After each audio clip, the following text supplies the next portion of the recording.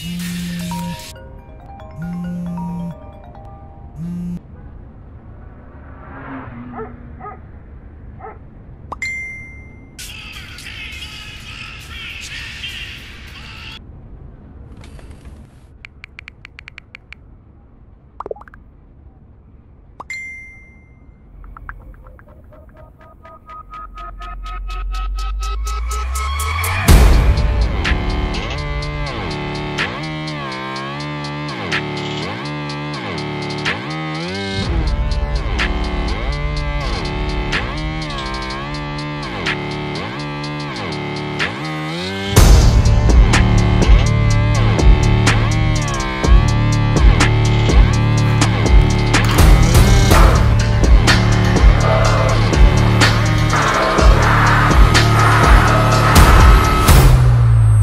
who says he can and he who says he can't are both usually right.